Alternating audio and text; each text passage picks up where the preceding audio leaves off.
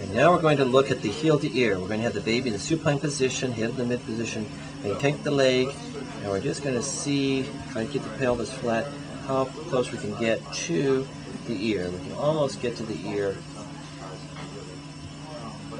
In a normal baby, we really should be able to get much past the, uh, the abdomen right here.